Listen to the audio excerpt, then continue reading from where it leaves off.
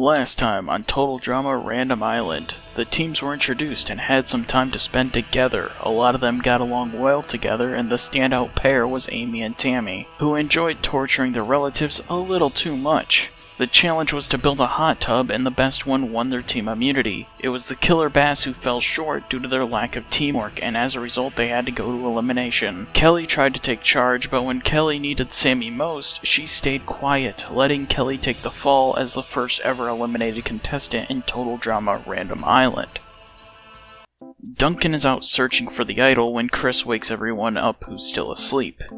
Duncan reports back to his team's cabin, and Kitty walks out with a sly smile on her face, and Duncan tells her not to tell anyone about this. And Kitty says that he can buy her silence, but Duncan says that he has no qualms with hurting a woman, especially one that's trying to blackmail him. Cody notices Eva's MP3 player and tries to mess with it, which gets his hand almost bitten off. Blaineley asks what they are doing up so early, and Chris says that he's glad she asked. They are gonna run across the island. Eva threatens Chris, but she is held off by DJ, B, and Ellody, who says that she needs to calm down. Eva asks Chris if he's enjoying this, and Chris admits that he is enjoying this a little. They then go. Dwayne and Pete are running, but only a little ways in they find out why being young might matter in this competition, as Dwayne is exhausted and Pete's artificial knee gives out. Duncan laughs at them, calling them losers, and Amy says to watch out for the trash to Sammy, but Taylor says that's probably where Sammy will feel the most at home. Jacques picks both of them up, saying that he never leaves a teammate behind. Spud is just walking with Tammy as Tammy tells him stories of her travels. Justin is running with DJ, and Justin says that he can respect a guy that's strong but does cardio, and DJ says thanks, he respects a guy that has a six pack on a six pack, and Justin says that that's nothing, he should see his legs.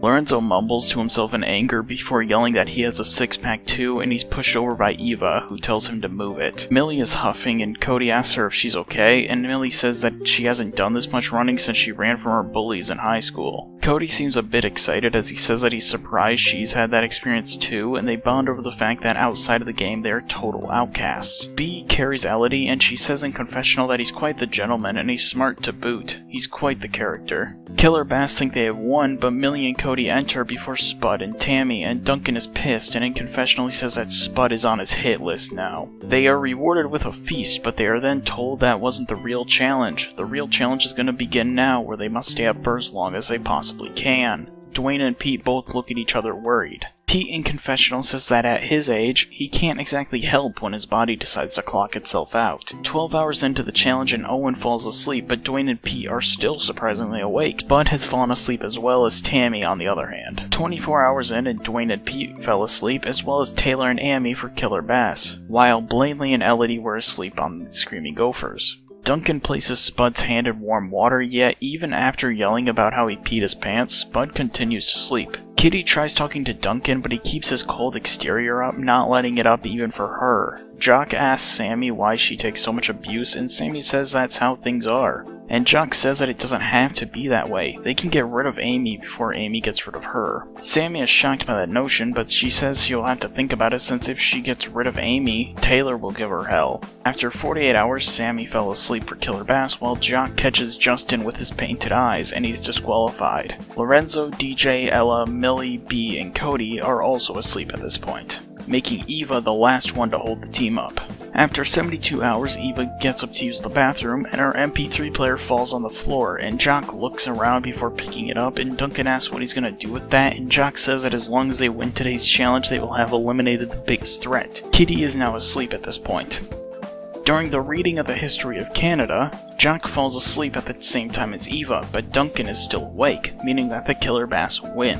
The Screaming Gophers are wondering who to vote off, but that's when Eva goes off, throwing everything out of her cabin in order to hopefully find her MP3 player. However, Jacques ends up going over and saying he found it over by the campfire and she must have dropped it. Everyone on her team is annoyed at Eva. Chris welcomes the Screaming Gophers to their first elimination. If you get a marshmallow, you are safe. If you don't, it's the dock of shame for you. Marshmallows go to Justin, DJ, Blaineley, Ella, Millie, B, Ellody, Cody, Lorenzo, and finally, Owen. Eva stands up angrily and says, Nice, really nice. I don't need this lame-o TV show anyway.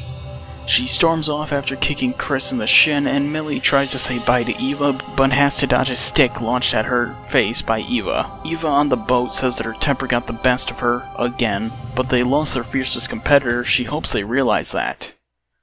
And that is the end of Random Island Episode 2. What did you think? Question of the week. Do you think Amy or Sammy will last longer? I'd love to hear your thoughts in the comments, and I'll see you all next time on Total Drama Random Island.